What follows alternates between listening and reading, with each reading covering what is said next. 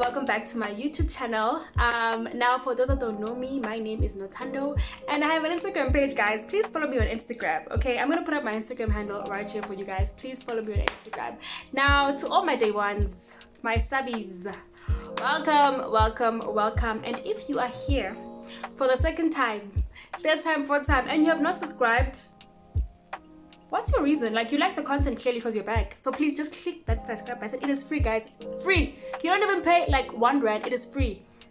Thank you. Thank you for joining the family. Thank you for subscribing. And if you're here for the first time welcome. You might just consider subscribing because you will definitely like this content. Now guys today's video um, i'm actually doing a playlist actually because I've noticed that some of you guys go into my DMs and ask me about studying in Russia, applications, requirements, and I've actually spoken about this like a couple of times on my channel.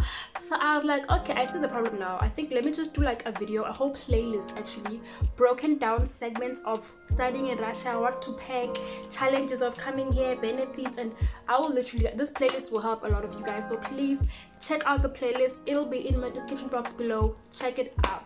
Check it out please. So yeah let's get into the video. Um today i'm talking about applications strictly. So the first thing that you guys need to know is where do you apply or what agency to use to apply. I'm gonna speak specifically about south africa mpumalanga to be even more specific because that is where i'm coming from. That's what i'm familiar with. That's how i came here. So well there are two agencies which i'm aware of that send student his, students here from SA, right? I know of Ruckus and I know of Simitex, and both these agencies have been used by students. Now, um, I came with Ruckus. A lot of people that I know actually came with Ruckus. It's only a few that have used Simitex, but most have come here with Ruckus. Now, Ruckus can be quite dishonest, to be honest.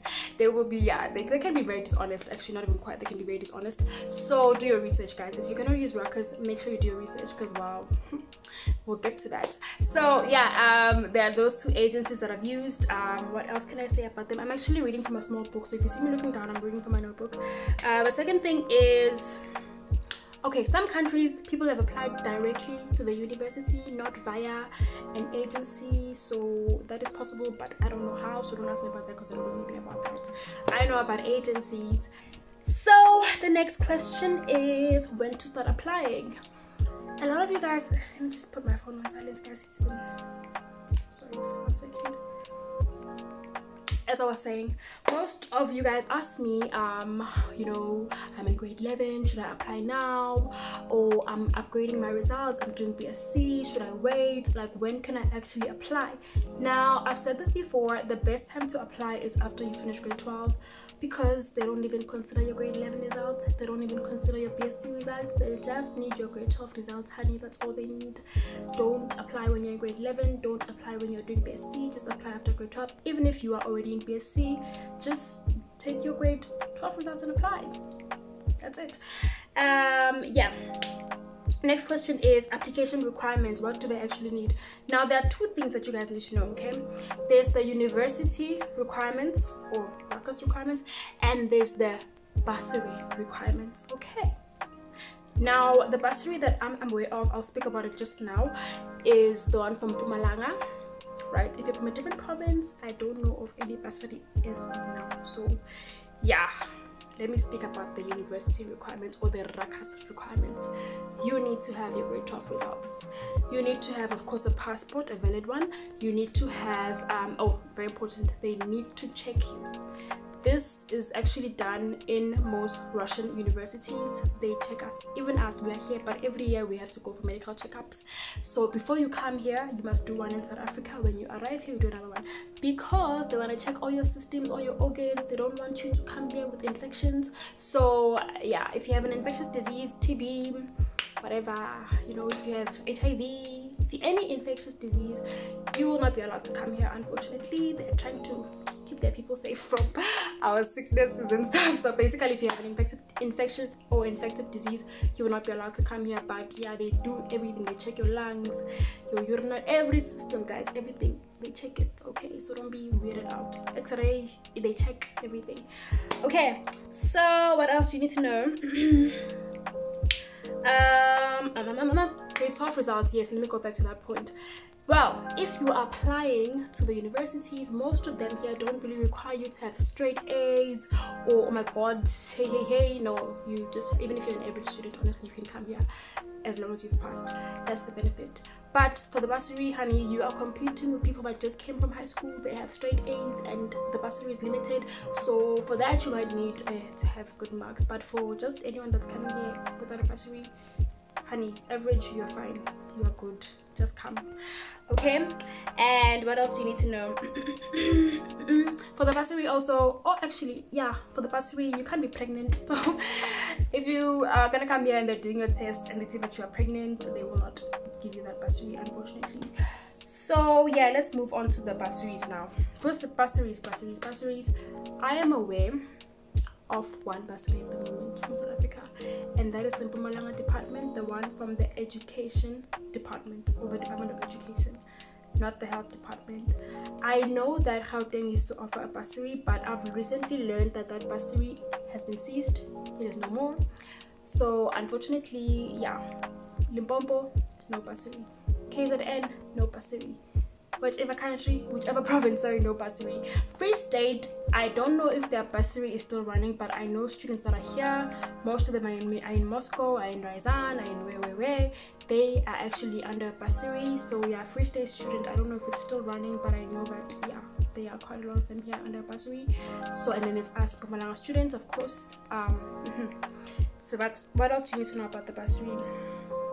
People have been telling me that Rutgers is expensive so they are trying to get a bursary to pay for the registration fee because the government actually covers that for you. So yeah guys. Sorry um, Rutgers apparently it's very pricey. So yeah let's move on to which university to pick. Very very important point. This one is the most important point. Very crucial point. Let me just state that. I mentioned two agencies, right? Now, when I did my research, okay, that was when I was here. I was trying to transfer. I learned that this Simitex agency actually is the one that worked with I think most of the Free State students and Simitex actually offers you I would say this is just my own recommendation, my own opinion. They offer you better universities because most of the universities that they have, they're based in Moscow, the capital city, so you know you're probably gonna get good, good education there because also it's quite compared to our you know our stream. So yeah um, moscow they have like really good universities. They have spoken to some students there actually and they have a completely different experience from what we have like oh my god. So i would personally recommend simitex over Rutgers but if you can't really afford then i would say Rutgers would do for you because most people that i know have used Rutgers so yeah and if you're gonna use Rutgers i would I beg you, I beg, beg, beg you. Request a list of universities. Unfortunately, when we came, we were never told about a list. We were never given a list. Ruckus never told us anything about a list. So we just we said, okay, when we are late, you are going there, and that was it. And when we learned that there was actually a list which people are supposed to get, and they pick for themselves, and they go, I was like, get such a thing. So please request a list and i beg you eh, please this is very important. This will change your life. Whenever you get that list or the name of your university do your research do your research do your research do your research do your research do your research. I cannot stress this any further. Do your research. Don't just take what the Rutgers people will tell you or what the university side will tell you. Honey talk to students. If you want i will personally i'll give you details don't don't just take what they tell you. I pray i beg you please. Just make sure you do your research. Like talk to us talk to students okay? They will tell you their own personal view. And this will help you as well. But when you come here your mindset will be different. And yeah i'll speak about this in a different video. Make sure you watch all my videos in this uh, playlist please. I'll speak about all this in the other video. Because yay! Shock shockment. Anyways yeah so there's that. Do your research what else did I want to talk about in this segment? Um, I think that's all for now.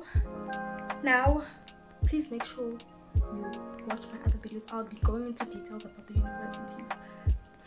So yeah, um, now my recommendations lastly, um, or my advice is that if you are already in medical school right now in South Africa, please, I beg you, stay there because some people have come here and they were already in medical school they wanted the whole europe or you know a eurasia experience or abroad experience and it's not working out so well for them. Some of them actually regret that. It's one of their biggest regrets. Um, but however if you just want to come here to explore studying abroad you want to know what it's like you want to compare then i mean you're a grown-up you can do whatever you want. You can come here. No problems. Um, and also if you're in grade 12 and you know that you stand a great chance of actually getting entry in a south african university to do medicine i wouldn't say apply to come here. Many of us we're here. And we got acceptance letters when we were already in here and we couldn't go back home. Ah, our story that's a story for another day.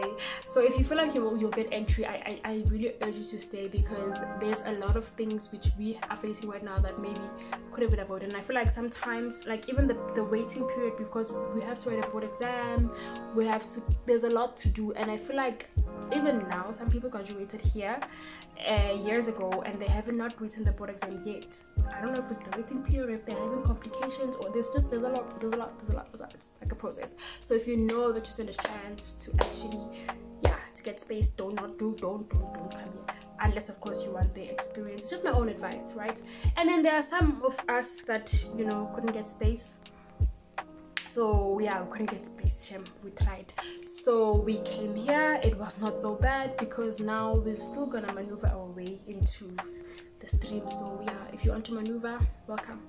Come maneuver together figure it out so yeah that is all for this video. I will talk more about these things in my next videos in this playlist so make sure you watch them as well. I will catch you guys on my next video. Make sure you like subscribe share this information. People might just you don't know what's to come study watch just share guys. Sharing is free liking is free subscribing is free. Subscribing is what? It is free. So subscribe. I'll catch you guys in my next video. Bye